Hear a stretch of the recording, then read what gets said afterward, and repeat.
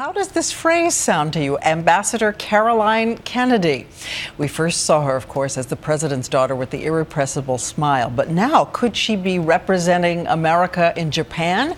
ABC's David Muir with the late breaking story. Diane, great to see you tonight. And ABC News has learned, in fact, that this move could be imminent. Caroline Kennedy, very likely the next ambassador to Japan. The White House wouldn't comment today, but we did get sort of a hint from Caroline Kennedy herself that she'd be willing when we sat down with her not long ago. ABC News has learned the White House has talked with Caroline Kennedy about the idea of becoming U.S. ambassador to Japan.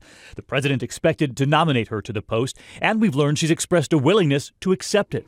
A post we asked her about when we sat down with her just a couple of weeks ago. I'm curious, what does Ambassador Kennedy sound like to you? Is that something you'd be interested in? I've supported the president for, you know, early, since early days. So, I mean, that would be great. Um, nobody's asked me, so you know, just have to see what happens. But you'd be open to it.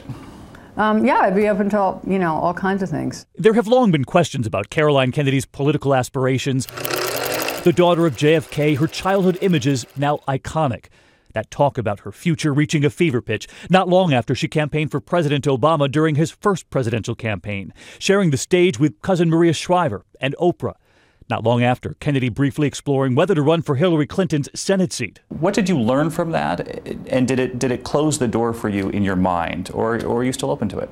It was actually a great two week experience that um, you know everyone's still asking me about. So I, I, mean, I believe in public service, and I and I admire people who who do that. So I, you know, we'll see what happens. Before his death, her brother, JFK Jr., had never ruled out completely running for political office. Tonight, though, the focus again on Caroline as she awaits a possible call from the president. Hi, how are you? In the meantime, focused on her new book, a collection of poems, remembering that little girl looking to impress another president, reciting that first poem to her father. I was about three, and I do remember reciting it for my father. And you can still hear to this day the applause when little Caroline. little Caroline, yeah, still, still, uh, you know, hoping to get that, yeah, reaction. Caroline Kennedy is 55 now, a mother, a lawyer, and author, and she quietly volunteers in New York's public schools. One of her more recent projects, helping students with their college applications. She actually goes on visits to college campuses, but very soon, Diane, her travels could take her to Japan. Stay tuned, as we say. Stay tuned. Thanks, David.